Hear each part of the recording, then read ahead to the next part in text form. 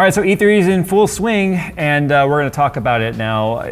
The only frustrating thing I think, on, think honestly about this AMD launch is the fact that they're doing it in such like segments. It's like Summit Computex, well actually Summit CES, Summit Computex, Summit E3 with availability in July. So it's kind of like, come on, just just just pour it out. Let us have it. Let us have all this goodness. Yeah, we're going to talk about we're going to talk about their new processors. Uh, the 3950X has finally been debuted, and we're going to talk about their new RDNA technology on their graphics cards, and their Navi architecture has finally been uh, well unveiled. So let's go and talk about it.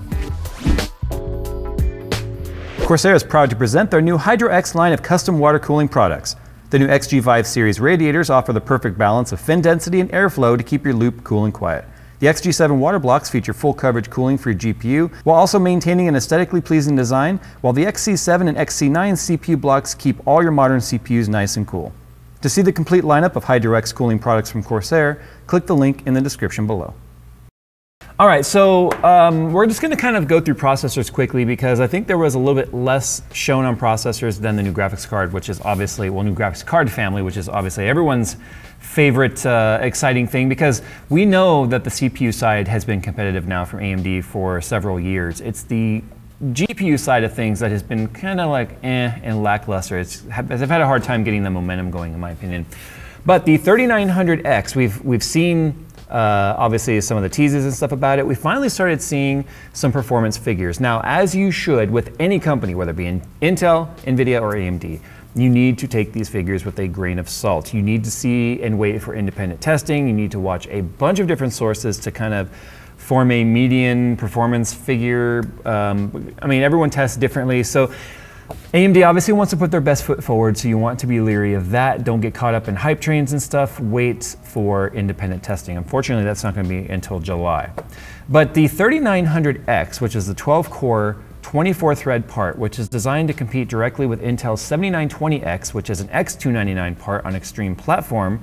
Remember, the 3900X is on mainstream running dual channel RAM, and the Intel is running quad channel RAM.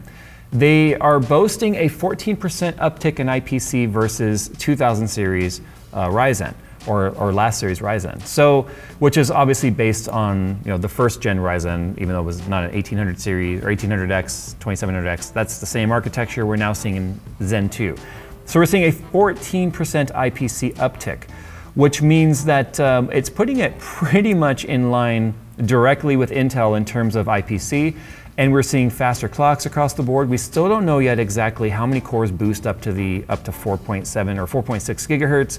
Um, but if all the rumors hold true, this is excellent because the 3900X with 12 cores, 24 threads is showing that it's it, it's trading blows with the 9900K, which is kind of always been, and, and I know a lot of you right now are like, well, wait a minute, the 900K only has eight, eight cores. Wait a sec.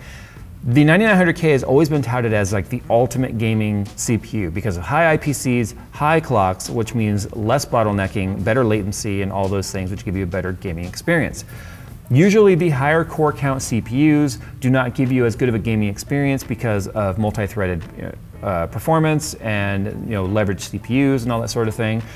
And this is showing us that it is trading blows between the 9900K when it comes to gaming. It, depending on the title, you could see a couple percent improvement uh, of AMD over Intel and vice versa. So if we're seeing it competing with the ultimate gaming CPU, but also if you look at the multi-threaded performance against the 7920X in productivity, where it's beating it pretty much across the board, well, if these figures hold up and all the independent reviewers see the same ex experience, you're going to have a $1,000 CPU being beaten across the board by a $499 CPU. So that's exciting, especially if the fact that we're seeing it in productivity outpacing the 7920X with half the memory channels, well, then that makes it uh, that much better because you don't have to spend twice as much on memory and you're still getting a better overall experience. We also saw the 3950X being debuted, which obviously has 16 cores and 32 threads, which is interesting because that now puts it directly competing with last gen Threadripper, on mainstream platform for significantly less, $749 to be exact. So yeah, it's one of those things where it's like, and we have to wait till September for that, unfortunately. The 3900X will be available in July, I think July 7th.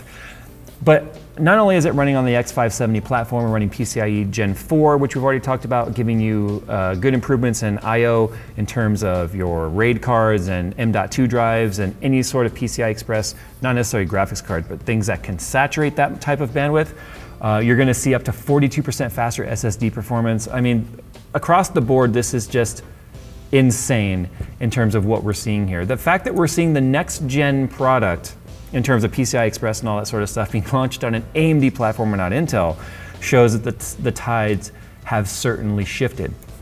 Now we're gonna, oh, and also too, the 3900X has 70 megabytes of cache and 40 PCIe lanes with PCIe Gen 4 and all that sort of stuff. So that's pretty mind-boggling. You guys have seen the other guys talking about the motherboard quality at Computex, Usually you would see Intel motherboards having a better build quality and AMD was kind of like eh, even though they may have shared the same name like Strix and Strix or you know like a, uh, the um, Aorus card versus or motherboard versus another Aorus motherboard. They just didn't have the same quality between them.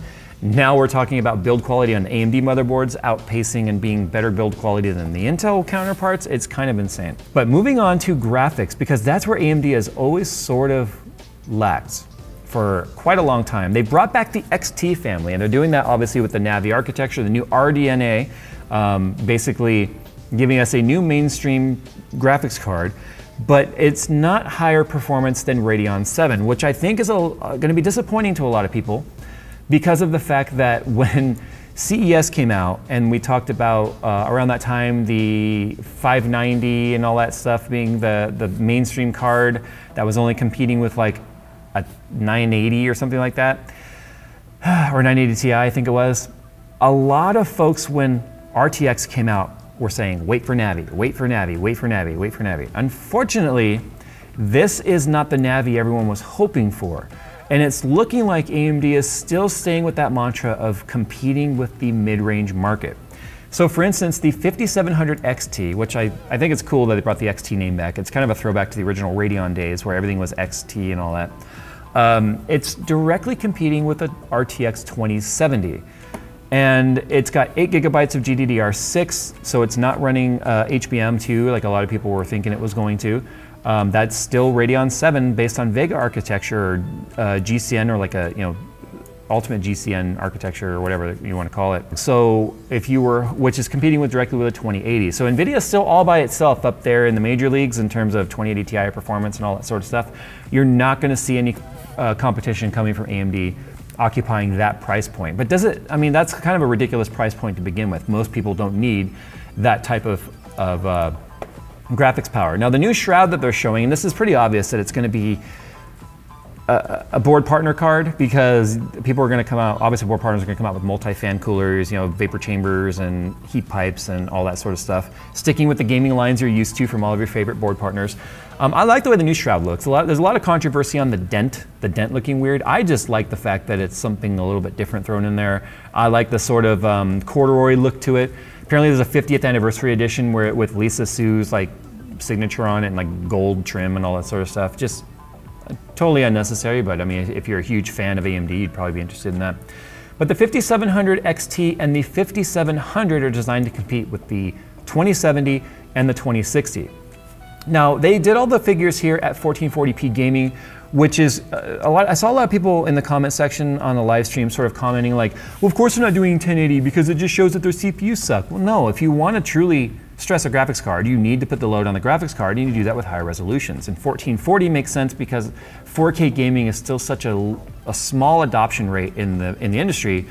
Uh, I think 1440 was the perfect sweet spot. But I think this was perfect because at the $449 price point, you're getting a 225 watt TDP card using, uh, you know, obviously TSMC's 7 nanometer Navi arch architecture. And uh, it's looking like it's beating the 2070 fairly across the board with a couple of like Shadow of the Tomb Raider, it looks like the 2070 was still beating it. Um, but you're seeing anywhere between a 2% to a 22% FPS game, raw FPS across the board um, on various titles. And they tested everything from Far Cry to Tom Clancy to The Division, um, Assassin's Creed Odyssey, kind of a weird title, but I guess AMD title, right? So we saw a huge um, overall improvement over the 2070 at a the same price point. So that's a, that that's one thing worth talking about. But there's another part to this I want to talk about in just a sec. If we look at the 2070 or the 5700, which is compared to the RTX 2060, um, it's anywhere from a 2% to 21% improvement across the board. And we'll put the same charts up that they showed. Again, wait for independent testing because we've seen these types of charts before and then we find they're very unique circumstances where these uh, tend to make sense. But both cards are featuring 8 gigabytes of GDDR6, which is interesting because the 5700 compared to the 2060, 2060 only has 6 gigs of GDDR6. So you're getting more VRAM, and with that, you're getting, um, well, better performance across the board. But I can already hear the NVIDIA fanboys out there screaming, but it doesn't have Tensor cores, and it doesn't have RT cores. Well, I guess this is where you get to have a fun opportunity to, to, for choice because it's one of those things where if you wanted to compete with NVIDIA, AMD didn't have anything until Ju July of this year because 590 was the best you could get and that didn't come anywhere near competing with the 2000 series, whether it be a 26 or up. Well, now at the same price point, you get that option. Do you want raw performance, which is what you can get with uh, um, obviously with the, the 5700 and 5700 XT, or do you want the extra features that could potentially be adopted in the future more widely, but at the huge FPS tax that RTX and real-time DXR is, or ray tracing is going to cost you? So this is where if you want the pretties, I guess you go with an NVIDIA card. If you want the performance, just no matter what, then you get the AMD card. Because if you go in the NVIDIA card and you just disable it all the time, then technically you get better performance with the AMD card. And, and there's a couple new functions that we still want to test here internally because um, they're, talk they're talking about anti-lag, which is supposed to improve the uh, lag between your monitor and your graphics card. When they said anti-lag, I immediately thought of like Fast and the Furious, and I'm seeing in my brain like Supras are out there on two-step, and they're just.